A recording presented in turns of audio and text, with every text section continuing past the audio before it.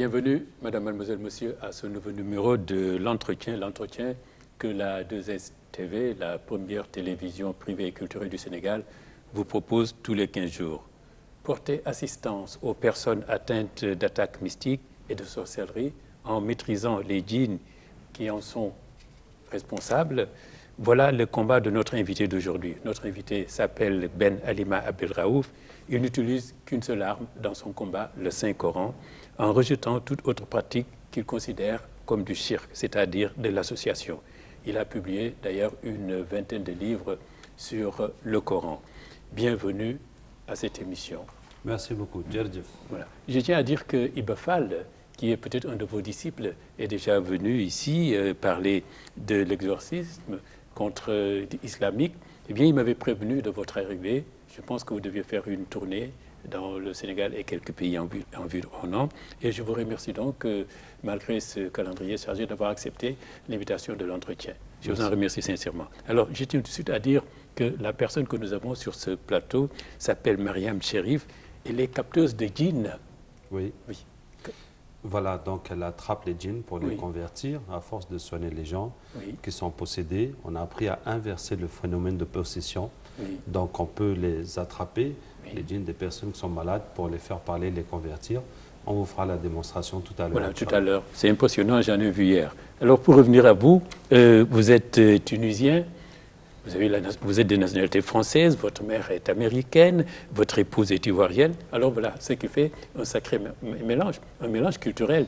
Et c'est à cause de ce mélange culturel que je vous demande, est-ce que les gens ont raison quand ils disent, eh bien, les questions mystiques de sorcellerie, euh, ça ne se passe qu'en Afrique, c'est l'apanage de l'Afrique? Non, ce n'est pas vrai. Il y en a partout dans le monde. Toutefois, c'est à des degrés différents. En Europe du Nord, en Amérique du Nord, c'est là qu'il y en a le moins, parce que dans leur his- histoire, ils se sont débarrassés, ils ont tourné le dos donc aux sorcières, à toutes ces choses-là. En Europe du Sud et de l'Est et en Amérique du Sud, il y en a plus. Chez les Arabes, il y en a plus. Chez les Turcs, les Pakistanais, les Indiens, les Chinois, il y en a plus encore. En Afrique, il y en a plus. Et le sommet, c'est dans les îles les îles comme, euh, euh, comme Haïti, comme la Guadeloupe, euh, comme aussi euh, l'île Maurice et l'île de Madagascar. C'est là qu'il y en a encore plus qu'en Afrique. Oui. Alors, est-ce qu'au Sénégal, on parle de maraboutage, c'est cela? Oui, le maraboutage est quand même un mot assez vaste qui Oui. englobe aussi le fait d'apprendre le Coran. Oui. Mais quand il s'agit de gris-gris, de bagues mystiques, de secrets, Oui. effectivement, c'est cela. Voilà. Alors, je- pour précision, vous êtes de formation ingénieur euh, euh, en statistique et en économie. Vous avez embrassé la religion euh, musulmane il y a de cela à 15 ans. Alors, quelle a été la raison de cette conversion? La raison, c'était la recherche d'un idéal. Donc, tout ce que les gens pouvaient chercher dans la vie, je l'avais déjà, étant donné que j'avais mon passeport américain, mon père qui était très bien placé, que j'étais très brillant dans les études. Donc, tout ce pourquoi les gens courent, je n'avais pas besoin de courir, c'était déjà là. Euh, donc, je cherchais un idéal de quelque chose de vérité, de sublime, de beau, euh, qui va aussi aider les gens. C'est dans l'islam que j'ai trouvé cet idéal. Avant, j'étais athée, donc je ne croyais en rien, tout simplement parce Oui. que je n'en avais pas eu la preuve. C'est une forme d'être cartésien. Et donc, j'ai trouvé ma voie dans l'islam. Brusquement, comme ça, c'est arrivé comment ça Bon, c'est arrivé qu'un beau jour, il y a trois personnes complètement différentes qui m'ont invité à faire la prière. Et c'est comme ça que je suis entré dedans progressivement. Oui. Donc, vous voilà donc euh, entré dans la religion musulmane. Et là, vous, vous apprenez le Coran, vous apprenez l'arabe que vous maîtrisez. Et euh, je pensais, vous, vous parliez euh, quand même l'arabe un peu étant d'origine tunisienne. Oui, oui, j'ai appris l'arabe à l'école, donc depuis le début, j'étais assez bon d'ailleurs, mais c'est quand j'ai commencé à faire les livres et à vouloir traduire, je voulais un diplôme de traducteur, donc je me suis remis à la fac euh, jusqu'à avoir une maîtrise de langue arabe. C'est toujours utile, ben, surtout dans la traduction. Oui. Alors, euh, donc, vous êtes là, vous vous lancez maintenant dans la dans l'édition, 20 livres euh, déjà sortis par votre maison d'édition qui, qui s'appelle Le Figuier. Oui. Alors, est-ce que euh, ces livres portent sur le Coran ou bien alors sur ce que vous faites, c'est-à-dire aider les gens qui sont victimes de sorcellerie, comme vous dites? Bon, tous les livres portent sur ce que je fais, mais il n'y en a que deux sur la question d'exorcisme et de djinn. Oui. Le reste, c'est des conseils, par exemple, réussir sa vie de famille, par exemple, la voie spirituelle, par exemple, le conseil aux jeunes de Surat Yusuf. Un Muslim Génération, c'est un roman sur le- les activités des jeunes. Donc, c'est le vécu que je vivais dans la prédication et la formation de la jeunesse, l'encadrement, Oui. qui a donné ces livres. Oui. Alors, donc, il y a presque 20 ans, hein, c'est-à-dire précisément en 1997, que vous avez donc vous lancé le centre, le centre Rokia, qui est consacré uniquement, c'est cela, hein, aux problèmes euh, euh, des gens qui sont victimes d'a- d'attaques mystiques. Oui, depuis 1997, c'est mon Oui. travail, mon activité principale, Oui. de soigner les gens qui souffrent de problèmes de sorcellerie et de djinn. Oui. Sur plusieurs pays, vous- vos activités portent sur plusieurs pays. Bon, j'ai commencé en France, comme j'étais Oui. là-bas. En France, on, on a des gens de plusieurs pays. Mais depuis 2005, donc, je passe la plupart de mon temps dans des campagnes pour sensibiliser, soigner et former des gens, établir des centres. Donc, euh, à ce jour, on a des centres dans 35 pays sur Oui. les cinq continents. Oui. Alors, euh, curieusement, euh, donc vous luttez contre les djinns, mais vous dites que vous n'êtes pas exorciste, vous êtes, vous êtes plutôt un guérisseur coranique. Oui. Quelle est vraiment la différence? Bon, c'est la. Bon, alors quand on parle de- d'exorciste, on parle de quelqu'un qui chasse le diable. Oui. C'est surtout ça. Alors notre travail se porte plus sur le traitement des sorcelleries, Oui. qui sont la raison majeure que les diables, les djinns viennent chez les gens. Oui. Et euh, souvent, les personnes sont atteintes sans qu'elles ne soient possédées.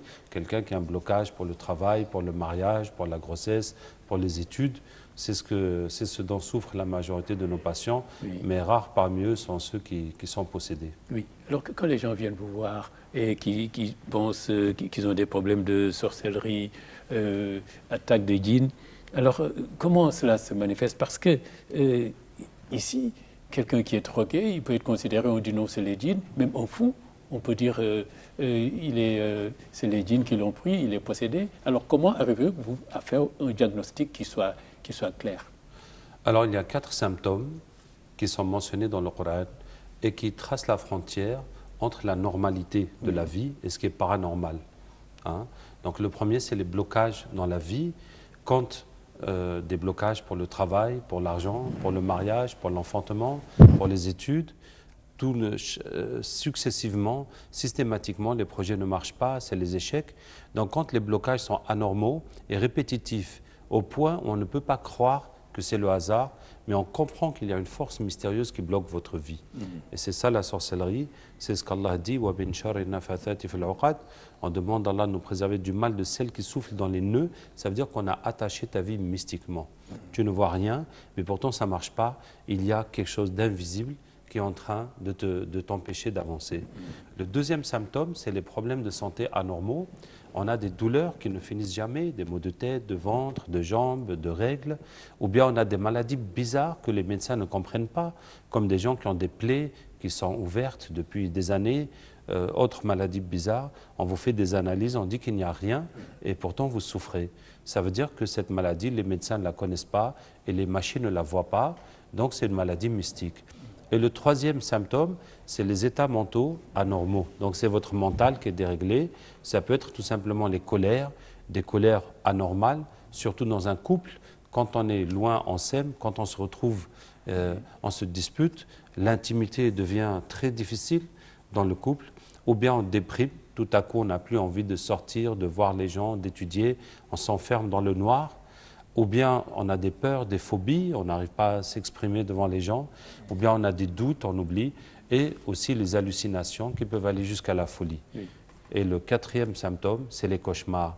Alors le- les cauchemars, ce n'est pas un problème en tant que tel, mais c'est euh, un signe, ça veut dire qu'on voit, ça révèle ce qu'on a comme problème mystique. On rêve qu'on est poursuivi, des serpents, des chiens, des bœufs, de l'eau, monter, tomber, des morts, et aussi des rêves sexuels anormaux qu'on appelle les rapes, les femmes et les maris de nuit. Alors nous en parlons de ça. Alors vous, vous parlez de sorcellerie, mais ici on parle tout simplement d'attaque mystique.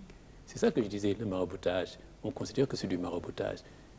Quand un mauvais sort a été jeté sur quelqu'un, Bon, on, dit- on va dire le maraboutage, si c'est les marabouts qui font ça. Oui. Mais il y a d'autres euh, sociétés où c'est des féticheurs qui le font. Euh, il y a d'autres endroits où vraiment les sorciers ne sont pas, n'ont pas de lien avec la religion. Donc euh, le, mot technique, en tout cas en arabe, c'est la sorcellerie. Maintenant que celui qui fait soit un marabout ou un pasteur ou un féticheur ou euh, quel que soit un animiste, en tout cas le, résultat c'est le même. Alors vous soignez exclusivement avec euh, le Coran, ça il faut le préciser. Alors moi je pense, je me dis que tout le monde devrait le faire. Dès lors que c'est par le Coran et qu'on peut l'apprendre, le maîtriser, en connaître les secrets, les arcanes. Effectivement, bon, la condition minimale, c'est de, lire, de pouvoir lire le Coran. Donc, euh, au minimum, chacun peut apprendre, et on le souhaite, chacun peut apprendre à se soigner lui-même. D'ailleurs, on va en profiter pour donner une recette euh, à tous nos téléspectateurs. Prenez de quoi écrire. Si vous vous reconnaissez dans ces symptômes ou que vous voyez que les membres de votre famille en souffrent, vous pouvez les traiter comme vous priez, comme tout un chacun prie Dieu de l'aider, de le guérir. Donc, on peut aussi se soigner. Il faut prendre de l'eau un bidon de 20 litres et vous lisez dessus la Fatiha, Ayatul Kursi, les trois dernières sourates, Ikhlas, Falaqi, Nasi, plus trois versets spéciaux pour enlever les sorcelleries. C'est le verset de Moussa salam avec les sorciers de Pharaon où Allah dit que Allah détruit la sorcellerie par ses paroles. Hmm. Et ce sont ces paroles précisément d'Allah Ta'ala qui détruisent les sorcelleries. Hmm. Donc c'est dans la sourate 7, Al-A'raf, les versets 117 à 122. Et puis sourate 10, Yunus, les versets 81 et 82, et Surat 20, Taha, les versets 68 à 70. Donc tous ces versets, Fatiha, Kursi, Ikhlas, Falaq, Nas, Araf, 117 à 122, Yunus, 81 et 82, et Taha, 68 à 70, vous lisez 11 fois chacun. Quand vous avez lu ça, cette eau va enlever la sorcellerie, les djinns, le mauvais œil. Vous allez en boire, vous lavez chaque soir avec un litre et demi vous pouvez vous laver dans la douche, mais il faut faire attention de récupérer l'eau dans une bassine pour jeter dehors dans un endroit propre, ne pas laisser aller dans les égouts. Vous allez vous laver comme ça pendant 12 jours d'affilée et aussi asperger toute la maison avec cette eau. Si vous avez un problème au travail, dans la boutique ou le restaurant, l'atelier, vous allez tout asperger avec l'eau, ça va partir. Donc voilà une formule très efficace que chacun peut faire et ça va vous montrer le pouvoir du Coran puisque Allah dit, nous descendons un Coran qui est un remède et une miséricorde pour les croyants. Hein? Quand vous allez vous laver avec l'eau ou asperger votre boutique, ça va tomber sur la sorcellerie comme l'eau sur le feu. Euh, donc ça, c'est un traitement de base que chacun peut utiliser. Maintenant, nous utilisons beaucoup plus de choses. Alors, alors pour euh, bien maîtriser le, le Coran, est-ce que, oui, je disais, si quelqu'un apprend le Coran, est-ce qu'il peut euh, soigner, euh, se soigner en cas d'attaque mystique? Et est-ce, mais alors, a-t-il besoin d'avoir des pouvoirs extraordinaires en plus? Non, il n'y a pas de pouvoir extraordinaire. Bon, il n'y a pas. Mais dans le Coran, plus on est pieux, plus on est pur, plus on y croit, plus on est concentré au moment de la lecture, plus ce sera efficace. Oui. Alors, on parle d'attaque de djinns. Alors, et est-ce que c'est facile? Vous dites que les djinns, quand on prépare cette émission, vous dites que les djinns sont plus faibles que les hommes, mais ce n'est pas ce que les humains pensent. Nous, nous, nous mm. craignons les djinns. Oui. Mais vous dites qu'ils sont plus faibles que nous. Effectivement, les djinns sont plus faibles. Les djinns sont plus faibles par leur nature. Ils sont créés de feu, alors que nous sommes créés de terre. Donc, euh, euh, quand les djinns viennent dans nos rêves, comme les rap, donc pour nous c'est un rêve, pour eux c'est la réalité. Donc notre rêve, c'est leur réalité. Quand le djinn parle dans ta tête, il fait le was-was pour te, diriger vers le mal. Pour eux, c'est des paroles, pour nous, c'est des pensées. Donc les paroles pour eux, ça vaut des pensées pour nous. Quand nous lisons le Coran, on parle, ça va les brûler, ça peut même les tuer. Donc les paroles pour nous, ça vaut des actes pour eux. Donc c'est comme ça que les djinns sont dans un monde inférieur. Et en fait, ils ne peuvent pas influencer beaucoup dans notre vie, mais ils nous donnent l'illusion de nous faire peur ou de nous faire espérer des choses. N'ont-ils pas un pouvoir, des pouvoirs extraordinaires que nous, nous n'avons pas? Par exemple, ils sont beaucoup plus nombreux que nous, on le dit. Alors, deuxièmement, c'est des êtres, on, les dit, surnaturels, ce qui suppose qu'ils ont des, pouvoirs euh, que naturellement nous, on n'a pas, qu'ils nous voient sans qu'on puisse les voir. Mais c'est des positions de puissance par rapport à nous. Et vous dites qu'ils sont plus faibles que nous. Effectivement. Mais si vous voulez, c'est comme si on dit que les chiens ont des pouvoirs que nous n'avons pas. Leur odorat est beaucoup plus développé, leur ouïe est plus développé. Si vous arrivez à euh, élever, par exemple, pour aller à, faire à la chasse, le chien est beaucoup plus efficace que l'homme pour amener le gibier. Bon, effectivement, il a des avantages, mais c'est l'homme qui domine quand même. Hein, l'homme peut apprivoiser le chien et l'homme a l'intelligence de dominer la situation. Quand Allah a voulu créer Adam, salam, il a dit aux anges, je vais mettre un calife sur terre. Alors que les djinns étaient déjà sur terre. Donc c'est l'homme qui est le calife d'Allah, ce n'est pas les djinns. Et dès qu'Allah a créé Adam, Allah a ordonné à Iblis de se prosterner devant Adam et pas l'inverse. Iblis était le meilleur des djinns et Allah lui dit voilà maintenant c'est lui qui va être ton maître et il va descendre sur terre, vous serez derrière lui. Iblis a refusé. Toutefois, c'est la position que l'homme a donnée par rapport au djinn. En tout cas, on va vous expliquer que, quelle que soit la façon qu'un djinn attaque un homme, on peut toujours le dominer, on peut même le tuer. Oui, oui bien sûr. Oui, le, plus souvent, oui, oui, le plus souvent, les djinns attaquent l'homme dans le rêve. Hmm. Alors, moi, je, veux avant cela qu'on parle des, des, différences fondamentales entre eux et nous. Par exemple, il faut se transformer. Oui. Parce que nous, on est, on est euh, omnibulés, on les craint parce qu'on pense qu'ils ont, ils ont une grande puissance. Vous venez de dire le contraire, ils sont faibles devant nous. Oui, effectivement. Nous allons vous, prouver ça. Effectivement, les djinns peuvent se transformer en humains, en serpents, en chiens, en oiseaux, des fois. Bon, c'est rare, mais ça arrive. Alors, il faut savoir que quand le djinn fait ça, il devient extrêmement vulnérable quand il fait ça. Hein. Donc, si tu tues l'animal, le djinn est mort. Et si tu l'attrapes, il devient ton prisonnier aussi. Il ne peut plus s'enfuir. C'est arrivé au temps du prophète sallallahu alayhi wa sallam. Mais je vais vous dire très simplement, si vous êtes dans une maison et vous voyez tout à coup un serpent, ou un hibou, ou un margouillat, ou quelque chose qui vous effraie et qui a l'air mystique, qui a l'air anormal, alors il faut savoir que le djinn ne peut pas apparaître ou disparaître si tu le regardes. Ah Donc, une fois qu'il est là, tu vas le regarder fixement et il ne peut plus partir. Et là, tu vas lire Et le Kursi et si c'est un mauvais djinn qui est venu te faire du mal, tu vas lire jusqu'à ce qu'il meure. Et ce sera fini. Hmm. Alors, il y a des différences fondamentales entre eux et nous, par exemple Entre eux et nous Oui. Oui, les différences fondamentales, c'est le corps. Nous sommes créés de terre, nous sommes soumis à des lois physiques. Eux, c'est une énergie, donc ils peuvent se déplacer très vite, ils peuvent rentrer en nous, ils peuvent lire dans nos pensées. Euh, sauf que leur raisonnement est moins que le nôtre, ils sont moins intelligents et constructifs. Mais par contre, ils n'oublient pas. Mhm. Il n'oublie pas. Oui, il n'oublie pas. Donc un djinn qui a vécu des siècles et des siècles peut te raconter tout ce qu'il a vécu. Hein, ils vivent plus longtemps que nous, donc ils peuvent vivre euh, des milliers d'années. Euh, voilà. Mais les djinns ne transforment pas la nature. Donc ils vivent dans les endroits qu'ils trouvent. Mhm. Alors, euh, leurs attaques, vous m'avez dit, ils nous, ils nous manipulent, ils nous dupent par le rêve, par exemple. Oui, alors il nous attaque dans le rêve. Si vous rêvez que vous êtes attaqué par un chien, un serpent, etc., c'est comme ça qu'il nous attaque, aussi les maris de nuit, les femmes de nuit. Si dans le rêve, vous vous rappelez de dire Bismillah, Allahu Akbar, ou de lire le Coran, ça va le bloquer, il va s'enfuir. Donc qu'est-ce que vous devez faire Si vous êtes attaqué dans le rêve, vous l'attrapez, et puis vous lisez Ayat al-Kursi. Si vous ne connaissez pas, vous lisez ce que vous pouvez, même de dire Bismillah, jusqu'à ce qu'il est mort. Et s'il est mort dans le rêve, il est vraiment mort, c'est terminé. Bon, euh, même si je vais vous donner le cas des enfants, si vos enfants font des cauchemars et qu'ils vous disent qu'il y a un méchant qui vient les taper dans le rêve, eh bien tu lui dis que quand tu vois le méchant, tu vas le doiter et tu dis Bismillah, Bismillah, Bismillah, et il pourra le tuer ou le chasser comme ça, et ça ne se reproduira plus. Mais le rêve, euh, comment on peut intervenir dans le rêve? Le rêve, on le subit plutôt. Effectivement. quand on voit un animal, euh, le rêve veut dire on n'est pas maître du rêve. Oui, on n'est pas maître du rêve, mais quand tu vois quelque chose qui t'attaque et tu t'enfuis, tu as quand même fait l'acte de t'enfuir. Oui, Maintenant, il faut te préparer avant de dormir. Ah, il faut te préparer, faire tes prières, tes, protections, et tu demandes à Allah ta'ala que ces djinns qui t'agressent, qui, qui te fatiguent, de te donner la force de les vaincre. Et tu vas dormir avec la colère de les attraper. Alors, et puis, euh, et ce n'est pas seulement par le rêve qu'ils attaquent, il y a aussi euh, parfois cette sorte de paralysie qu'on a pendant le sommeil. On dit que c'est une euh, action des djinns. Est-ce prouvé? Euh, Oui, vous pouvez, vous pouvez en avoir la certitude parce que si tu dors ou tu es sur le point de t'endormir et tu sens quelque chose qui te paralyse, alors ce qu'il faut faire, d'abord il faut l'attraper. Et comment tu vas l'attraper quand tu es toi-même paralysé? Tu vas serrer les mains tu essayes de serrer les mains, même un peu, avec l'intention de l'attraper.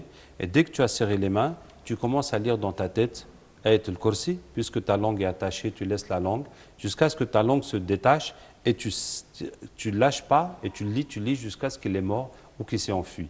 Hein, sinon, la preuve que c'est des djinns, c'est que dès que tu vas dire Bismillah dans ta tête ou tu vas lire le Coran, ça va partir, ça va disparaître. Donc là, on sait que ce n'est pas quelque chose de médical ou de psychologique. Alors, quand tu lis le Coran en cas d'attaque, c'est n'importe quel verset. Je pense qu'il y a des versets euh, prédisposés qui sont pour lutter contre eux.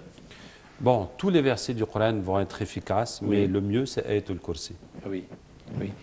Alors, euh, dites-moi, s'ils se transforment, comment on peut leur faire face? Bon, s'ils se transforment, bon, je l'ai dit, si jamais tu vois dans ta maison ou sur ta route, dans un chemin, dans la forêt, une bête bizarre ou une personne, une vieille dame qui te fait peur, donc tu vas la regarder fixement, hein, tu ne vas plus la lâcher des yeux, tu vas lire, lire, lire, jusqu'à ce qu'elle soit consumée. Hmm. L'autre façon de vaincre les djinns, c'est quand quelqu'un est possédé, comme le cas des filles qui tombent dans les écoles. Donc euh, si ça arrive, il faut tenir la personne et vous allez frapper sur sa tête ou bien sur son cou sans faire du mal à la personne et lire Ayatul Kursi ou bien simplement répéter La ilaha illallah Muhammad Rasulallah jusqu'à ce qu'elle arrive à répéter. Donc comme ça, ça va casser la tête du djinn, ça va le brûler jusqu'à ce que soit il s'enfuit, soit qu'il devienne musulman.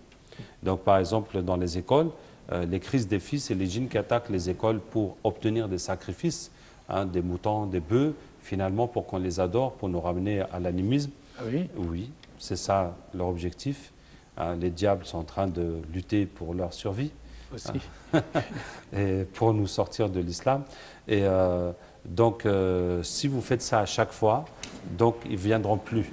C'est comme si des enfants viennent voler, puis on les attrape, on les chicote à chaque fois, donc ils ne viendront plus. Alors donc ils nous amènent, ils peuvent nous amener, ils nous dupent à ne pas utiliser le Coran contre eux, mais à leur faire des sacrifices. Oui. C'est qu'ils les fortifient. Effectivement. Ah oui. Et souvent quand ils demandent ces sacrifices, par exemple, bon, on a fait une tournée en Guinée-Conakry, parce que le, problème des crises dans les écoles, c'est dans toutes les écoles.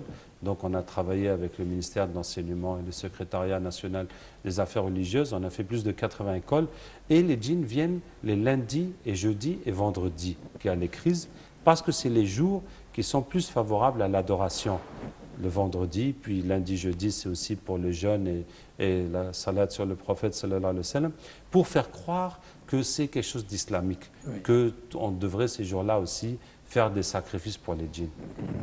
Mais alors, il, il, il, aurait, il y aurait de leur part un vrai combat de, positionnement. Ils ne veulent pas se laisser vaincre, ils, résistent. Ils sont plus nombreux. Bon, en tout cas, si vous étiez avec nous il y a deux jours, on était à Rufisque mm. et là, on a capté pour les khams, pour les baobabs euh, qui sont là. Et vraiment, le djinn est venu avec beaucoup de force. Il dit que lui, son travail, c'est de tuer tous ceux qui veulent laisser les khams et tous ceux qui s'y opposent. Hein, tous ceux qui disent qu'il faut laisser les rames. Donc effectivement, les diables, ils vont tout faire pour défendre leurs acquis de fétichisme. Mais Alhamdoulilah, il s'est converti et il a dit que maintenant son travail, ce sera au contraire de combattre ceux qui, qui adorent les rames. Dites-moi, quand, euh, quand ils attaquent les filles dans les écoles, c'est souvent que ça se passe. C'est les filles qui tombent en, en, transe, tout ça. Alors, parce qu'elles sont plus, plus vulnérables? Alors, pour plusieurs raisons. D'abord, la sorcellerie, est plus une question de jalousie que d'intérêt, et cette jalousie s'exerce plus entre femmes. Donc c'est les femmes qui en font le plus et qui en subissent le plus. Deuxièmement, parce que les, euh, les sorciers utilisent plus les gènes mâles que les gènes femelles. Et ces gènes aiment les femmes pour abuser d'elles en même temps. Troisièmement, parce que les femmes sont plus émotives. Une femme a peur plus facilement, elle pleure aussi plus facilement. Donc un djinn chez une femme peut la posséder plus facilement que si c'était un homme. Hmm. Bon, il y a aussi la question de l'habillement. La question de l'habillement vient en plus parce qu'une femme qui s'habille mal, d'une façon qui n'est pas couverte, d'une façon qui attire les hommes, donc ça lui fait des péchés à longueur de journée et ça renforce les djinns qui avec elle. Ils se nourrissent de ces péchés. Donc, euh, ce qui fait qu'ils sont bien plus à l'aise hmm. chez une femme. Oui. Et vous m'aviez dit euh, aussi, euh, Ben Halima Abdelraouf, quand on préparait cette émission, qu'on peut donc leur faire face. C'est ce que vous dites depuis qu'on discute dans cette émission. Vous dites même qu'ils sont plus faibles que nous, qu'on peut leur faire face et euh, ne pas avoir peur d'eux, et puis les attaquer, changer le rapport de force entre eux et nous. Oui, donc c'est ce qu'on peut faire, euh, comme on a dit, dans le rêve, ou bien quand on est paralysé dans le sommeil, quand ils apparaissent devant nous, quand quelqu'un est possédé. Et l'autre façon, c'est la façon mentale. la façon mentale de vaincre les djinns. Par exemple, si vous avez des maris de nuit qui vous embêtent, eh ben, vous, tu vas lui parler, vous allez lui parler avant de dormir. Donc avant de dormir, tu dis, toi là qui viens dans mes rêves abuser de moi, viens, je vais te parler. Et tu vas lire un verset du Coran. Hein, parmi ces signes, il vous a créé de vous-même des épouses ou des époux pour trouver auprès d'elle la sérénité. Il a mis entre vous l'amour et la miséricorde. C'est Surat al-Rum, la Surat 30, le verset 21. Et c'est le verset qui montre que le mariage entre espèces différentes ne peut pas marcher et que dans chaque espèce, Allah a fait les mâles et les femelles pour qu'ils s'aiment et qu'ils trouvent le bonheur. Donc vous répétez ça 10, 20, 30 fois, le djinn va voir qu'effectivement, il n'a rien à faire avec toi et que son bonheur est ailleurs et ça va le faire partir. Et quand tu as fait ça, après tu dis, maintenant si je te vois encore dans le rêve, je vais te tuer. Et tu dors comme ça, Inch'Allah, ton problème sera réglé. Parce que là, c'est très répandu dans nos sociétés de dire qu'on appelle ici le terme wolof farourap, c'est-à-dire des femmes qui ont des amantes, des amandines et qui sont persuadées qui viennent les visiter euh, le soir, euh, qui les attendent même parfois. Bon, c'est tellement répandu au Sénégal, effectivement, que certains pensent que c'est normal, que c'est, euh, alors que ce n'est pas normal du tout. Il faut vous en débarrasser absolument, parce qu'ils sont là le plus souvent pour vous empêcher de vous marier ou d'avoir des enfants. Alors, les djinns, ils préfèrent nos femmes humaines à, leurs femmes on les envoie faire ce travail. Il faut savoir que la majorité des djinns ne se mêlent pas de la vie des humains. Donc ceux que nous connaissons, c'est parce qu'on les a envoyés pour nous faire du mal. C'est pour ça qu'on entend qu'ils sont les plus visibles. Oui. Alors peut-être que justement, on dit que vous travaillez beaucoup, vous les capturer, hein, c'est le truc captage. Et je rappelle que c'est pour ça que je vous ai présenté en début d'émission Mariam Sherif, qui est capteuse de jeans. Peut-être que là, on va voir la séance de captage, comment ça va se passer On va y aller. Oui. Donc, on va demander à Allah de ramener les djinns qui ne sont pas contents de ce qu'on a dit. On va voir ce qu'ils vont. Ah oui, tout ce qu'on a dit, ils ne sont pas contents. Effectivement. Ah oui. Effectivement. Mais ils ne vont rien nous faire, là, non Non, non. non, ils peuvent rien. Ils peuvent rien. Allons-y. أعوذ بالله من الشيطان الرجيم إن وليي الله الذي نزل الكتاب وهو يتولى الصالحين أينما تكونوا يأتي بكم الله جميعا إن الله على كل شيء قدير Bonjour.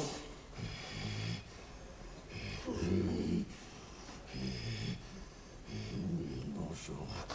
Euh, tu étais dans le studio Oui, bien sûr. Qu'est-ce que tu fais ici Non, moi par contre, moi, moi je dors ici. Ah, tu dors ici Mais qu'est-ce que tu fais dans le studio à part dormir? Je suis chargé de surveiller tous ceux qui ont des pactes avec nous. Tu surveilles tous ceux qui ont des pactes avec vous Voilà. Tu veux dire des bagues, des gris-gris Oui, c'est ça. qui vous font des sacrifices? Voilà. Donc tu surveilles tous les employés ou les visiteurs qui ont des pactes Et puis, avec je vous? suis chargé de, de, de me rassurer qu'ils reviendront toujours nous en faire. Ah, il faut qu'ils reviennent chaque fois vous faire des sacrifices. C'est ça. Donc quoi Il faut qu'ils aient des problèmes pour vous faire des sacrifices à chaque fois C'est ça, c'est bien ça. Ah. Nous leur mettons dans une situation, nous leur mettons contre le mur et puis ils reviennent vers nous trouver protection. Vous les mettez toujours dans l'impasse pour qu'ils reviennent chercher vos services à chaque fois. C'est ça. Et tu es ici, tu dors, tu surveilles que tout le monde va régulièrement vous faire des sacrifices et faire des choses. C'est ce que, c'est ce que nos maîtres nous demandent de faire. Vos maîtres vous ont envoyé pour faire ce travail. C'est ça. Vous assurez que les clients reviennent tout le temps. Voilà, et qu'ils ne vont pas ailleurs. Qu'ils ne Ah. viennent pas chez vous de toutes façons. Qu'ils ne viennent pas chez nous Voilà. et qu'ils n'aillent pas chez d'autres marabouts C'est ça. pour fidéliser leurs clients. N'est-ce pas? Oui. D'accord, d'accord. Tu peux nous dire quelle est ta relation avec Iblis? Oh, devant tout ce monde. Oui, devant tout ce monde. Bon, tu peux me dire à l'oreille si tu préfères. Voilà, je Oui préfère. Vas-y. Voilà. Voilà, c'est le père, nous. c'est le Ah, c'est votre père. Voilà, nous, les livres, qui ne le savent pas. Pardon, pardon Nous, les livres, notre père, mais ils ne savent pas. Vous les livrez à votre père, mais eux ne savent pas. Voilà, c'est ça. Ils ne savent pas que vous travaillez pour le diable. C'est ça. Eh bien, merci beaucoup de cette confidence. Pardon? Voilà, on a fait croire que tout ce qu'ils font, c'est islamique. Vous leur faites croire que tout ce qu'ils font, c'est islamique, Voilà, alors que c'est pour le diable. voilà. Eh bien, On explique que ça restera entre nous. oui, ça reste entre nous. Bien sûr. Euh, je vais te dire quelque chose quand même. إن الشيطان لكم عدو فاتخذوه عدوا إنما يدعو حزبه ليكونوا من أصحاب السعير Ça, il nous l'a jamais dit. Qu'est-ce que tu as vu إن الشيطان لكم عدو فاتخذوه Il عدوا nous a jamais dit qu'il a été là-haut. Il nous a jamais dit. Voilà. Qu'est-ce que tu vois إن الشيطان لكم عدو فاتخذوه عدوا Qu'il a trahi tout le monde. Il a trahi tout le monde. إنما يدعو حزبه ليكونوا من أصحاب السعير. آه، oui? Qu'est-ce que tu vois? Explique-nous. Mm. وإذ قلنا للملائكة اسجدوا لآدم فسجدوا إلا إبليس كان من الجن ففسق عن أمر ربه. أفتتخذونه وذريته أولياء من دوني وهم لكم عدو Alors c'est lui-même qui s'est égaré, alors c'est lui qui a refusé. Alors c'est lui qui a refusé d'être guidé. Il nous a jamais dit ça. Il nous a jamais dit وإذ ça. قلنا للملائكة اسجدوا لآدم فسجدوا إلا إبليس كان من الجن ففسق عن أمر ربه أفتتخذونه وذريته أولياء من دوني que vous vous soyez au-dessus de nous. D'accord. Est-ce que tu acceptes d'être musulman, nom d'Allah Et puis toi tu seras au-dessus de nous. C'est Allah qui est au-dessus de nous tous. وما خلقت الجن والإنس إلا ليعبدون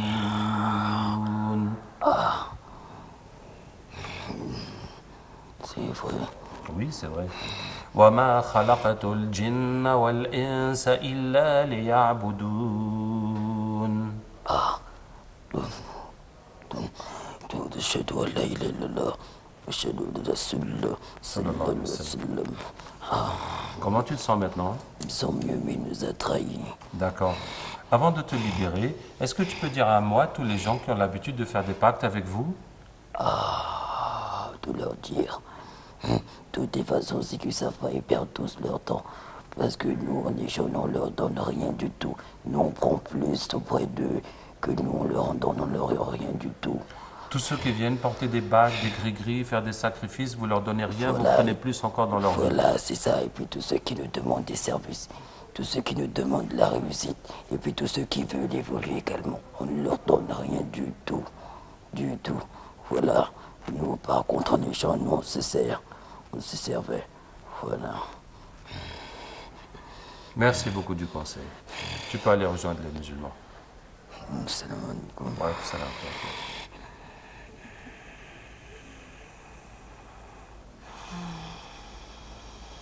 Et voilà, il est parti. Alors, Mariam Chérif, capteuse de djinn, c'est, euh, c'était pas elle, c'était un djinn C'est un djinn qui est venu, avec qui nous avons oui, discuté. qui a dit qu'il dort ici, Oui, il dans, dort dans le ici. studio de la Oui. Josesse. Il dort, bon, ça veut dire que les djinns passent la plupart de leur temps en hibernation. Oui, Et puis ils interviennent quand ils ont quelque chose à faire et après Oui. ils se mettent en veilleuse. oui, Ils attendent le moment d'intervenir. oui. Alors, ce qui s'est passé, donc voilà, euh, c'est un djinn qui a parlé, vous avez, euh, on a suivi la conversation. Donc, euh, euh, quand on les vainc, on les capture, on les vainc, et puis, avec ce que vous faites, soit vous les, vous avez dit tout à l'heure, on pouvait les tuer, mais alors là, on ne l'a pas tué, on l'a ramené, À il est devenu à l'islam. Oui, effectivement. Voilà. Le Coran agit directement sur les djinns. Vous voyez, elle ne comprend pas l'arabe, mais le djinn, même s'il ne comprend pas l'arabe, il va comprendre les versets du Coran Oui. et ça va agir sur son être jusqu'à ce qu'il devienne musulman. Oui. Alors, un djinn musulman, quel est l'avantage? Oui. ben, il va adorer Allah comme nous autres. Maintenant, comme Iblis aussi. Mais il y a des musulmans qui ne sont pas gentils. euh, c'est pas parce que le fait qu'il soit musulman, ce sera qu'il sera un bon djinn gentil? Oui, alors regardez, les djinns sont créés de feu. Oui. Le feu peut aller vers le noir ou vers la lumière. Oui. Donc quand ils font du mal, ils deviennent noirs, noirs, noirs comme le diable. Quand ils font du bien, ils deviennent lumière, lumière, lumière, comme les anges. Ainsi, Iblis, avant de désobéir à Allah, était parmi les anges. Donc, quand il fait du bien, il devient lumineux. Chaque fois qu'il fait une bonne action, ça augmente sa lumière. S'il fait du bien, il devient ténébreux. Donc, si un djinn est musulman, mais qu'il désobéit, il va devenir noir. Finalement, c'est comme s'il n'est pas musulman. Donc, on parle des djinns qui deviennent blancs, et à force de faire du bien, ils deviennent comme les anges. Donc là, forcément, ils ne font pas de mal. Et donc là, quand ils sont des djinns musulmans, ils sont, on ne peut plus les utiliser pour la sorcellerie, comme vous dites. Effectivement. Ils, euh, ils se détournent de cela. Oui, ils se Voilà. détournent de cela, oui. Donc votre action, c'est ça la finalité. Oui, on convertit les djinns dans l'islam, ça, Oui. va, euh, ça va détruire aussi les sorcelleries, les pactes qui sont faits, ça va affaiblir euh, tout le mal, tout le satanisme Oui. Qui est chez les gens. Oui. Alors si on voit le, le pouvoir du Coran, toutes les religions, c'est un peu, quand on regarde dans, dans les films, on voit comment le, le diable, euh, au vu de la croix, euh, se consume au fût. C'est à peu près le même, euh, la même croyance là. Oui, c'est- bon, c'est la parole de Dieu. Oui, C'est la parole de Dieu. Bon, nous croyons. Bon, je ne peux pas dire euh, l'effet Oui. de la croix sur les djinns, oui. mais euh, en tout cas, c'est la parole d'Allah qui les fait reculer puis Oui. qui les convertit. Alors, donc vous conseillez, euh, vous pratiquez l'utilisation du Coran pour lutter contre la sorcellerie, contre les méfaits des djinns, mais vous mettez en garde contre le shirk, c'est-à-dire oui. donc euh, éviter le shirk. Vous Oui. dites aux musulmans. Oui, effectivement. Le Coran, mais pas le shirk, l'association. Pas le shirk. Oui. Donc il y a des pratiques que les gens pensent être de l'islam, alors que c'est tout le contraire. C'est exactement ce qu'il disait. oui. On leur fait croire que c'est l'islam, alors que c'est du satanisme. Hein, c'est vraiment le terme. C'est les diables qui sont derrière. Le premier, c'est les sacrifices pour les djinns. Oui. Si on vous dit d'égorger un bœuf noir ou un mouton noir ou une poule rouge, Oui. ou d'enterrer un animal vivant, de Oui. verser le lait dans le fleuve ou la nourriture sur la route, ce n'est pas une adoration de Dieu, c'est pour les diables. Hein. Et de leur faire ces sacrifices, c'est une adoration. Vous avez vu les rues de Dakar le matin, des, des œufs qui sont cassés là, des, des- des tas de choses, oui. C'est Bon. c'est ça, c'est pas le Coran, Non, ce n'est pas le Coran, c'est pour les djinns. C'est des offrandes pour les djinns. Oui. Comme il dit, les gens veulent obtenir de l'argent ou un poste ou un mariage ou quelque chose, alors que les djinns se foutent de leur gueule. Et Oui. puis au contraire, ils vont se servir dans leur santé, dans leurs enfants, dans toute leur vie. Oui. Et puis ils vont les affilier au diable par ces ac- actes. Le deuxième euh, pratique, c'est utiliser les noms de djinns dans les dhikr, dans les doigts. Oui. Donc si on vous donne un dhikr avec des noms bizarres, il ne faut jamais utiliser ça. Parce que les noms de Dieu, c'est ce qui est venu dans le Coran, c'est ce qui est enseigné par le prophète sallam. Personne ne peut inventer ou amener un autre nom de Dieu qu'on n'a pas connu. Donc à chaque fois, c'est des noms des diables. Et le troisième, c'est les bagues et les bracelets de chance et de protection. Oui. Si on te dit que cette bague, ça va te protéger, c'est aussi un pacte avec les djinns, hein, avec les diables. Parce que Même, sinon... euh, même quand, on, quand on a mis des écritures coraniques dessus, sur ces bagues qu'on porte, euh, Mais tu n'as qu'à prendre toi-même une bague et lire Qul dessus mille fois et porter. En quoi ça peut te protéger? Ce n'est pas comme ça. Le prophète nous dit il faut lire euh, trois fois après Sobh, après Maghrib, avant de dormir, les trois Qul, et ça va te protéger. Ce n'est pas en lisant sur des objets. Sinon, on va prendre le tapis de l'imam, là où il prie, où il lit à chaque jour. Donc, on va se disputer pour chacun avoir un petit bout pour se protéger, mais on sait que ce tapis ne va pas nous protéger, encore moins les bagues. Et le quatrième, c'est les gris-gris hein, qu'on attache pour se protéger. Ça aussi, ça va contenir du Coran, mais ensuite les codes des djinns et les carrés avec les noms qui sont tous des codes pour amener les djinns. Et le cinquième, c'est de visiter les tombeaux des saints pour demander leur aide. Alors que quelqu'un qui est décédé ne peut plus t'aider. S'il était vivant, même, il ne peut que prier pour toi. Mais une fois qu'on est décédé, on ne prie plus. hein. Donc ça, c'est les, les shirks qu'il faut vraiment laisser. Et euh, comme nous avons cette méthode du captage, ça nous permet à chaque fois d'amener les djinns qu'il y a derrière et ils vont dire tout ce qui se passe avec ces choses. Et euh, le djinn euh, a dit par euh, l'intermédiaire de la voix de Mariam Chérif que ceux qui portent les cris-cris, nous leur donnons rien en fait. Oui, rien. Hein? Et les sacrifices ils disent euh, ils nous donnent mais nous leur apportent rien, nous pouvons Voilà. rien pour eux. Au contraire, nous prenons, nous nous servons dans leur vie. Oui. Bon, le, le plus que, que les djinns peuvent faire pour toi, c'est un déplacement de ta chance.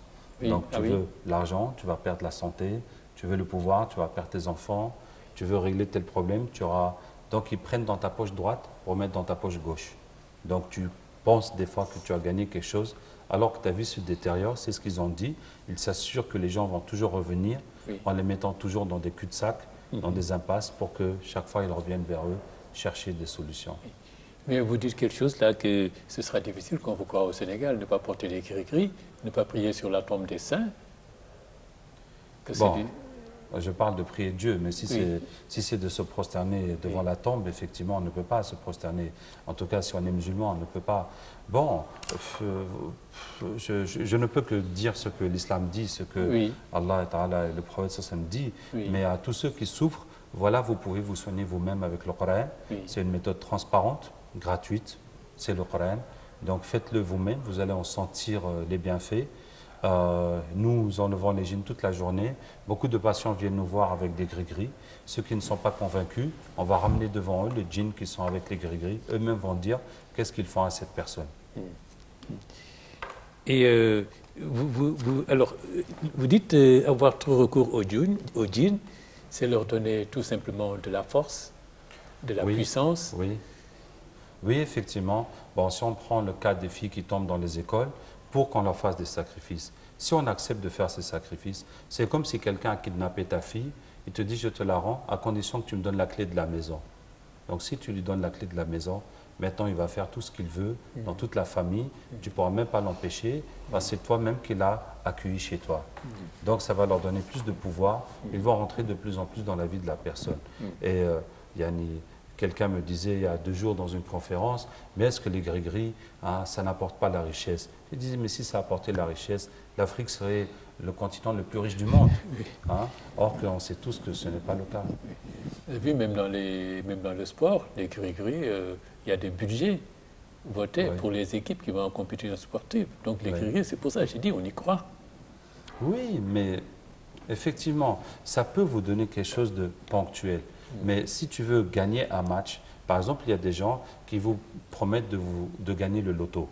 Alors la question, c'est pourquoi il ne gagne pas le loto lui-même? Puisqu'il peut te faire gagner le loto, mais il n'a il pas besoin de dire ça à personne. Il n'a qu'à gagner le loto lui-même. hein. Pourquoi aller se vanter hein? Parce que c'est un échange. S'il gagne le loto, soit il aura un cancer, soit un de ses enfants va mourir. C'est comme ça. Ah oui. Et donc, il va te donner, toi, à gagner le loto pour que tu gagnes le cancer en même temps. Et toi, tu vas lui payer 100 000 ou 200 000, sa commission. Et puis, c'est tout. Oui. Parce que les- Donc, c'est la même chose pour le sport. On pourrait faire, mais après, soit tu auras une mort prématurée, quelque chose de pire va t'arriver. Oui, parce que les djinns ne font rien pour rien. Quand on a recours à eux, on s'affaiblit, on dépend d'eux. Et euh, la conclusion aussi, c'est qu'ils font rien pour rien, comme vous venez de le dire. Bon, ils ne font. D'abord, ils ne peuvent pas faire quelque chose pour Oui. toi, si ce n'est de déplacer ta chance. Mais en plus, ils vont prélever leur part dedans. Oui. Donc, forcément, ce que tu pourrais obtenir, c'est beaucoup moins que ce que tu vas perdre, mais tu t'en rends pas compte. Oui. Alors, est-ce que vous pensez toute cette, euh, c'est dans la mentalité des gens euh, justement, euh, parce qu'ils y croient dur. Est-ce que vous pensez que ça peut avoir des, ça a une conséquence, peut-être une petite influence sur ce sous-développement dont on parle, certains aspects Oui, parce que, bon, la sorcellerie peut bloquer la vie d'un individu. Oui. ou sa santé, ou affecter son mental, l'empêcher d'étudier. Donc s'il y en a beaucoup, beaucoup, beaucoup, ça va affecter la vie de tout le monde. Ça va affecter la vie de tout le monde. Donc effectivement, des fois, les problèmes mystiques deviennent des problèmes publics. Par exemple, on va trouver des villages où toute la chance est bloquée, où aucun jeune de ce village n'arrive à s'en sortir.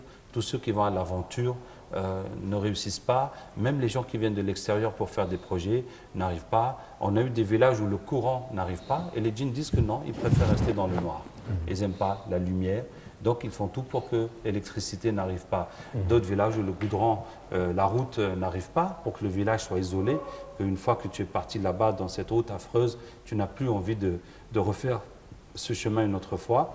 Des fois, c'est des projets de l'État qui n'arrivent pas, comme des barrages ou des ponts, pour vraiment euh, libérer, aider les populations qui sont bloquées. Des fois, c'est des zones qu'on n'arrive pas à construire ou qu'on n'arrive pas à cultiver.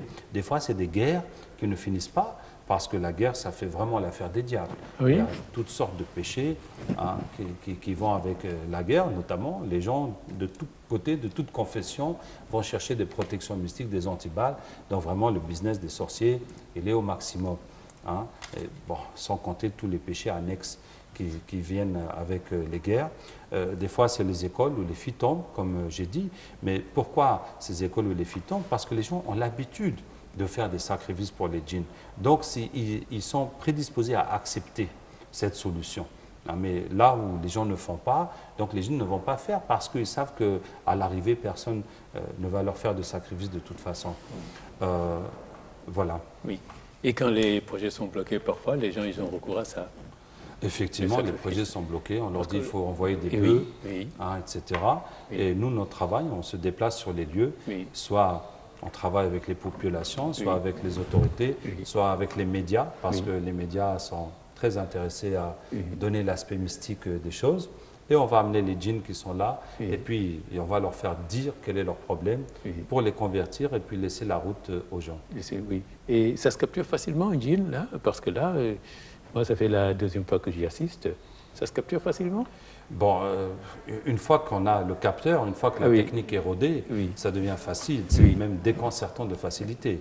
Sauf que quand c'est des gènes qui sont très durs et très euh, féroces, euh, bon, ça, on risque d'avoir une bagarre. Ah oui Oui, ils vont se lever. Bon, une fois, on était en direct à la télévision, il y avait une table en, verre, et le djinn s'est énervé, il a dit non, c'est pas possible. Il a fracassé la table, c'est tombé en mille morceaux. Hein. Donc eux, euh, ils n'ont pas de respect pour le... Et puis vous voyez, en tout cas, vous avez vu vraiment que leur mentalité, elle est manipulable. Oui. Hein, parce qu'il dit non, je ne peux pas dire devant tous les gens que je travaille pour le diable. Je dis bon, tu me dis à l'oreille, mais euh, alors que nous, on sait très bien, un, petit enfant euh, saurait, aurait repéré la ruse. Oui. Hein, mais alhamdoulilah, on a donc cet avantage. C'est pour ça que vous dites que notre mental est plus développé que le leur, peut-être, ils n'ont pas plus de mental que nous. Voilà, vous avez vu avec quelle facilité on, on l'a manipulé. Donc, euh, si on fait la conclusion de cette émission, il ne faut pas avoir peur d'eux. Non, on a peur d'eux par habitude, pour les histoires qu'on a racontées, il faut dire que quand on est soi-même dans le shirk, quand soi-même on porte les gris-gris, on fait les sacrifices pour les djinns, on n'a plus aucune protection, donc on est à leur merci. Donc c'est là qu'on est en position de faiblesse. Alors, on a deux choix, soit de continuer à se soumettre indéfiniment, soit de rompre avec ça et retourner vers Dieu, utiliser le Coran, et on va prendre sa situation en main et on n'aura plus besoin d'eux. Mm. Mais pour quelqu'un, pour un musulman qui n'a jamais versé dans ça, il n'a pas besoin d'avoir peur d'eux. Quelle que soit la façon que les djinns vont venir dans ta vie, on peut toujours les vaincre. Maintenant, si c'est des humains qui te font la sorcellerie, on peut aussi les vaincre de la même façon dans le rêve. Je, vous raconte une histoire très vite. C'était une jeune fille, une de ses grand-mères lui faisait la sorcellerie, et la vieille est venue dans son rêve avec un couteau pour la poignarder, et la fille lui a arraché le couteau et l'a poignardé, et la vieille s'est levée le matin, elle a vomi du sang pendant trois jours, puis elle est morte. Hmm. Hein? Donc même si c'est un humain qui te fait du mal mystiquement, tu n'as qu'à prier Allah de te donner la force de le vaincre, comme lui il a demandé au diable, toi tu vas demander à Allah de faire sa justice, et tu vas le chercher pour le vaincre, et quand tu auras fait ça, personne n'osera plus t'en faire, parce qu'ils sauront que ça va se retourner contre eux. Alors je sais que vous faites des conférences, hein, vous rencontrez des gens, vous allez à l'intérieur. Alors est-ce que les gens sont euh, sensibles à ce discours? Est-ce qu'ils euh, se détournent de ces pratiques quand même quand vous parlez avec eux, quand vous faites des captures de djinns devant eux? Les gens sont sensibles au discours, ils sont beaucoup plus sensibles aux captures de djinns. Ah quand on ramène les djinns et qu'ils voient que les djinns parlent et qu'ils disent ce qui se passe, là, ça va les choquer, euh, ça va les bouger beaucoup plus que le simple discours. Je vous remercie vraiment d'être venu, euh, Ben Alima Abdel Raouf. Donc, j'ai dit vous vous occupez de cette euh, de Rokia, qui est donc spécialisée dans la capture, la chasse aux djinns, contre la lutte contre les, les, attaques mystiques. Et puis, je remercie aussi Mariam Sherif, capteur des djinns, qui est venu avec vous sur ce plateau de l'entretien nous montrer comment euh, ce phénomène se passe, ce qui est toujours euh, spectaculaire quand on regarde. Merci beaucoup, Sada. Je vous remercie. quant à vous, Madame, Mademoiselle, Monsieur, merci d'avoir suivi cette émission, disons, un peu spéciale de l'entretien. Je vous donne rendez-vous dans 15 jours pour un autre numéro. Au revoir.